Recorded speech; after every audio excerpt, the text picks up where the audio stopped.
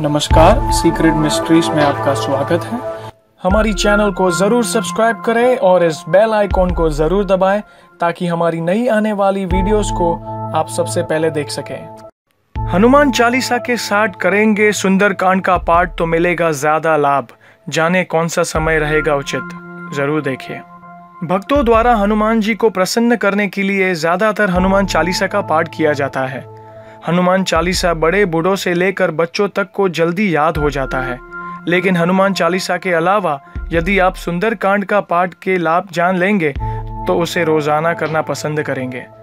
हिंदू धर्म की प्रसिद्ध मान्यता के अनुसार सुंदर कांड का पाठ करने वाले भक्त की मनोकामना जल्द पूर्ण हो जाती है। सुंदरकांड अध्याय गोस्वामी तुलसीदास द्वारा लिखी गई रामचरित मानस के सात अध्यायों में से पांचवा अध्याय है। रामचरितमानस के सभी अध्याय भगवान की भक्ति के लिए है, लेकिन सुंदरकांड का महत्व अधिक बताया गया है। सुंदरकांड पाठ का महत्व जहाँ एक और पूर्ण रामचरितमानस में भगवान के गुणों को दर्शाया है, उनकी महिमा बताई गई है। लेकिन दूसरी ओर रामचरितमानस के सुंदरकांड पाठ की कथा सबसे अलग है। इसमें भगवान राम के गुणों की नहीं, बल्कि उनके भक्त के गुणों और उसके विजय की बात बताई गई है। हनुमान पाठ के लाभ सुंदर कांड का पाठ करने वाले भक्त को हनुमान जी बल प्रदान करते हैं। उसके आसपास भी नकारात्मक शक्ति भटक नहीं सकती। इस तरह की शक्ति प्राप्त करता है वह भक्त। यह भी माना जाता है कि जब भक्त का आत्मविश्वास कम हो जाए या जीवन में कोई काम न बन रहा हो तो सुंदरकांड का पाठ करने से सभी काम अपने आप ही बनने लगते हैं। केवल शास्त्रीय मान्यताओं ने ही नहीं विज्ञान ने भी सुंदरकांड के पाठ के महत्व को समझाया है। विभिन्न मनोवैज्ञानिकों की राय में सुंदरकांड का पाठ भक्त के आत्मविश्वास और इच्छा शक्ति को बढ़ाता है।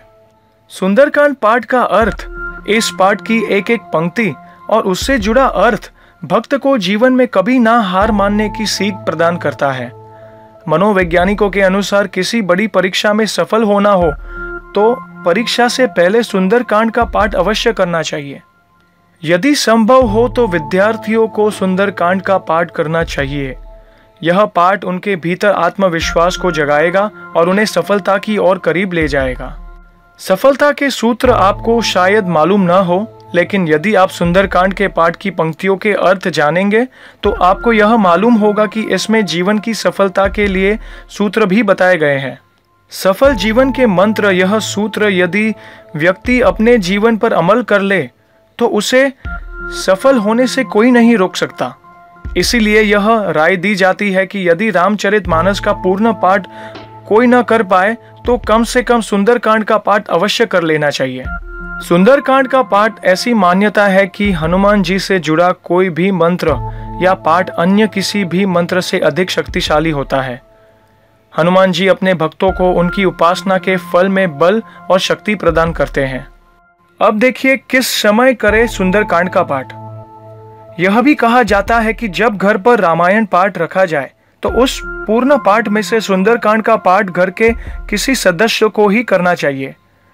इससे घर में सकारात्मक शक्तियों का प्रवाह होता है। ज्योतिष के नज़रिए से यदि देखा जाए तो यह पाठ घर के सभी सदस्यों के ऊपर मंडरा रहे अशुभ ग्रहों से छुटकारा दिलाता है। यदि स्वयं यह पाठ न कर सके तो कम से कम घर के सभी सदस्यों को यह पाठ सुनाना ज़रूरी है। अशुभ ग्रहों का दोष दूर करने में लाभकारी है सुंदरकांड का पाठ। जय श्री राम, जय हनुमान। तो उम्मीद करता हूँ कि ये वीडियो आपको पसंद आई और प्लीज़ प्लीज़ प्लीज़ इस वीडियो को आप लाइक सब्सक्राइब और शेयर ज़रूर कीजिएगा ताकि आने वाली नई वीडियोस को भी आप एंजॉय कर पाए। Thank you very much goodbye